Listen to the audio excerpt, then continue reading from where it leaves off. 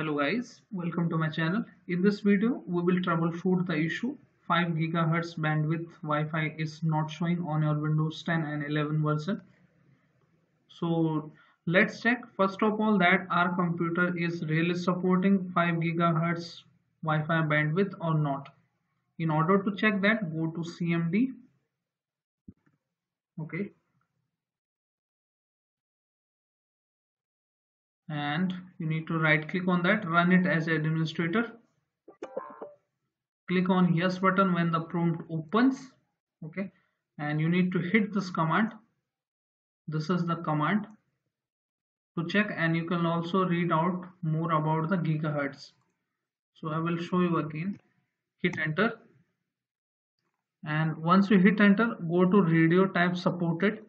And if you are getting this portion 11a 802.11a 802.11ac okay? A means it is related to the 5 gigahertz bandwidth. It means that your computer or laptop is supporting 5 gigahertz. If you are only getting this b g or n option it means that your computer is supporting 2.4 gigahertz or 2.5 gigahertz not supporting 5 gigahertz okay? So make sure you are getting this portion here okay? I will give these commands as well as the descriptions about the gigahertz in my video description. So let me minimize it. Once you confirm that it is supporting go to device manager. Open it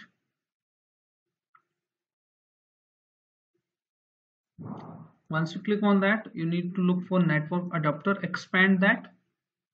And from here look for your wireless adapter. You can see intel dual band. It is also already written here. It means that dual band means 2.4 gigahertz and 5 gigahertz. So right click on that go to its properties and go to advanced. And on the first option you can see in the this option wireless mode. Choose this option from 5 gigahertz. You can see here the 5 gigahertz. Choose this option and click on ok. Once you select here the 5 gigahertz okay you need to scroll down and click on preferred bandwidth. No preferences. Click on 5 gigahertz. Once you select ok here click on ok and restart your system and your issue will be fixed. Okay. If you don't have the dual bandwidth this driver you need to manually go to browser open the google chrome and you need to look for intel dual wireless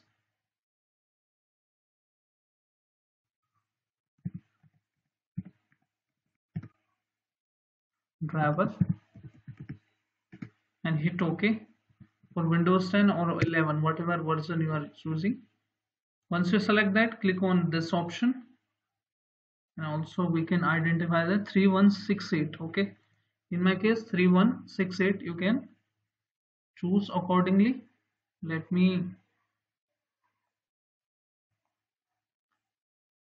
3168 3168 and hit enter. Now you will see 3168 and if you don't have you can try out okay? Once you click on that you need to scroll down and look for Windows 10 or 11 64 bit. From here you need to choose the latest one this one and click on view option and you can choose here the 64 bit accordingly. If you have 32 so you can choose that option. And if you have 64 bit click on download it. Accept terms and conditions. Okay. And wait for the process to install it. And after once you reinstall the driver restart your system and your issue will be fixed. So hope your issue is fixed now. If yes then hit like subscribe and share. Thank you. Thanks for watching